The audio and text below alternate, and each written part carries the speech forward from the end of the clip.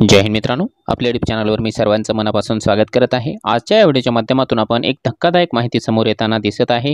दोन हजार एकवीसच्या टी ई टी परीक्षेमध्ये देखील घोटाळा झाला आहे का? अशा प्रकारचा संशय उपस्थित केला जात आहे. काय आहे याच्या मागचं कारण? ते आपण जे आहे पुराव्यानिशी या व्हिडिओच्या माध्यमातून जाणून घेणार आहोत. परंतु तत्पूर्वी आपण जर चॅनलला नवीन असाल तर आमचं चॅनल सबस्क्राईब करा. साईडचा जे बेल आयकॉन आहे त्याला देखील प्रेस करा. जेणेकरून शिक्षक भरतीच्या संदर्भामधल्या कोणत्याही माहितीची अपडेट आपल्याकडून मिस होणार नाही. मित्रांनो जसं की तुम्हाला स्क्रीनवरती दिसत आहे महाराष्ट्र राज्य परीक्षा परिषद पुणे यांच्या वतीने जे आहे एक महत्त्वाचं लेटर इश्यू करण्यात आलेलं आहे. आता हे लेटर नेमकं कुणाला इश्यू केलेलं आहे? बघा या ठिकाणी जे आहे प्रति म्हणून एक एक्स वाय झेड नावाचा या ठिकाणी कॅन्डिडेट आहे ज्याचं नाव आपण जे आहे या ठिकाणी हाईड करून ठेवलेलं आहे. त्याचं नाव मी जे आहे या ठिकाणी दाखवू शकत नाही. परंतु त्यामध्ये जी काही माहिती सांगण्यात आलेली आहे किंवा त्याला जेव्हा ज्या पद्धतीने चौकशीला बोलवण्यात आलेलं आहे त्या गोष्टी नक्कीच धक्कादायक आहे. बघा त्याला जो काही लेटर इश्यू केला गेलेला आहे आणि त्या लेटरचा इश्यू विषय जर का आपण बघितलं तर महाराष्ट्र शिक्षक पात्रता परीक्षा दोन हजार एकवीस राखीव निकालाच्या सुनावणीस उपस्थित राहणेबाबत. म्हणजे हे एक अशा प्रकारचा उमेदवार आहे ज्याचा महा टी ई टी दोन हजार एकवीसचा जो निकाल आहे तो रिझर्व ठेवण्यात आलेला आहे राखीव ठेवण्यात आलेला आहे. आता त्याच्या मागचं कारण या ठिकाणी दिलेलं आहे. बघा दिनांक एकवीस नोव्हेंबर दोन हजार एकवीस रोजी झालेल्या महाराष्ट्र शिक्षक पात्रता परीक्षेस आपण प्रविष्ट झाला असून उत्तरपत्रिकेतील त्रुटीमुळे आपला निकाल राखीव ठेवण्यात आलेला आहे. आता सदर प्रकरणी आपले म्हणणे मांडण्यासाठी आपण स्वतःच्या खर्चाने अकरा अकरा दोन हजार बावीस रोजी सकाळी अकरा वाजता महाराष्ट्र राज्य परीक्षा परिषदेच्या कार्यालयाला उपस्थित राहायचा आहे.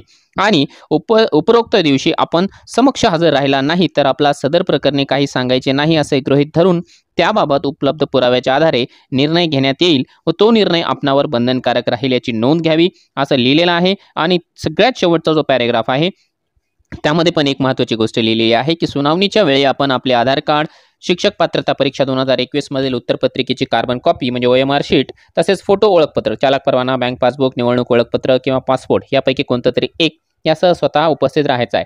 सुनावणीच्या वेळेस आपल्या वतीने अन्य कोणालाही उपस्थित राहता येणार नाही. उमेदवाराने प्रत्यक्षमध्ये उपस्थित राहणं आवश्यक आहे. अशा प्रकारचं हे जे नोटीस आहे ज्याला आपण म्हणूया नोटीस म्हणूया ते शैलजा दराडे मॅडम ज्या की आयुक्त आहे महाराष्ट्र राज्य परीक्षा परिषद पुणे यांच्या स्वाक्षरीनिशी या ठिकाणी पाठवण्यात आलेला आहे. आता हे संपूर्ण प्रकरण काय आहे? मित्रांनो तुम्हाला मी या ठिकाणी सांगतो. बघा आपण ज्या पद्धतीने पाहिले की दोन हजार अठराच्या टी ई टीमध्ये घोटाळा झाला दोन हजार एकोणावीसच्या टी ई टीमध्ये घोटाळा झाला परंतु आपण सर्व सुदैवी आहोत की दोन हजार एकवीसमध्ये जे उमेदवार स्वतःच्या मेहनतीच्या बळावरती पास झालेले आहे त्यांचा रिझल्ट या ठिकाणी बहाल करण्यात आलेला आहे. परंतु ज्याप्रमाणे अठरा आणि एकोणीसमध्ये ही घोटाळा केलेले उमेदवार आपल्याला सापडले तशी शक्यता जी आहे दोन हजार एकवीसमध्येही नाकारता येत नाही. आता ही जी नोटीस या पद्धतीने दिलेली आहे की यांना जेव्हा त्याने सांगितलं की आपण जे काही ओ एम आर शीट आहे त्याच्यामध्ये त्रुटी आढळलेली आहे. या कॅन्डिडेटच्या ओ एम आर शीटमध्ये त्रुटी आहे. आता त्रुटी म्हणजे काय असू शकतं? या बाबतीमध्ये कॅन्डिडेटच्या वतीने जे आहे तर्क वितर्क लढवले जात आहे. कदाचित माझा असा अंदाज आहे की या संबंधित उमेदवाराने जे आहे त्याची ॲन्सर की ॲन्सर शीट जी आहे एकतर कोरी ठेवली असेल किंवा स्पेसिफिक काही प्रश्न त्याने जे आहे उत्तरं लिहिण्याचे सोडून दिलेले असेल. कारण ज्या पद्धतीने अठरा एकोणीसला घोटाळा झाला होता की प्रश्नपत्रिका ही पूर्णपणाने sorry O M R sheet जी आहे पूर्णपणाने कोरी सोडली गेली होती आणि नंतर त्याच्या मार्कांमध्ये जे आहे तफावत करण्यात आली होती. त्याच पद्धतीने घोटाळा करणारे हे उमेदवार असू शकतात. आता यांना जे आहे स्वतःहून त्या ठिकाणी उपस्थित राहून खुलासा द्यावा लागणार आहे.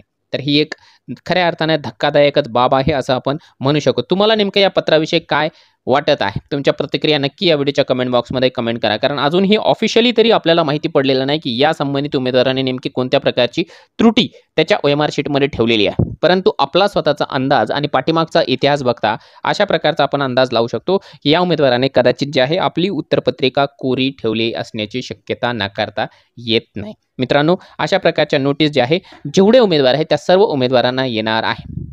त्याच्यामुळे याच्यामध्ये ज्यांना ज्यांना नोटीस आलेल्या नाही परंतु ज्याचा रि- निकाल जो आहे तो रिझर्व आहे असं समजून जायचं की त्याच्या ओ एम आर शीटमध्ये काही गडबड नाही आहे काही उमेदवारांचा ई डब्ल्यू एचच्या सर्टिफिकेटचा प्रॉब्लेम झालेला आहे. त्यांनी त्यांनी जे आहे ईमेल करायचा आहे परीक्षा परिषदेच्या ऑफिशियल जीमेल आय डीला आणि आपला जो रिझल्ट आहे तो पुन्हा एकदा बहाल करण्यासाठी विनंती करायची आहे. आणि जे उमेदवार जे आहे महा टी ई टीच्या दोन हजार एकवीसच्या परीक्षेमध्ये पास झालेले आहे त्यांनी येत इतर कोणत्याही गोष्टीकडे अशा प्रकारच्या नोटीसकडे लक्ष न देता आपण अभियोग्यता चाचणीची तयारी करायची आहे. आणि आपण जर का अभियोग्यता चाचणीची तयारी करत असाल तर आम्ही तुमच्यासाठी घेऊन आलेलो आहे मिशन टेट ऑनलाईन बॅच या बॅचमध्ये आम्ही तुमच्याकरिता जे आहे रेकॉर्डेड स्वरूपामधले सर्व विषयांचे लेक्चर घेऊन आलेलो आहोत. त्याचबरोबर जे आहे हे जे लेक्चर तुम्हाला तुमच्या वेळेप्रमाणे कधीही पाहून घेता येणार आहेत. त्यासोबतच सर्व विषयांच्या पी डी एफच्या स्वरूपामधल्या हँड रिटन नोट्स आम्ही तुम्हाला प्रोव्हाइड करतो आहे.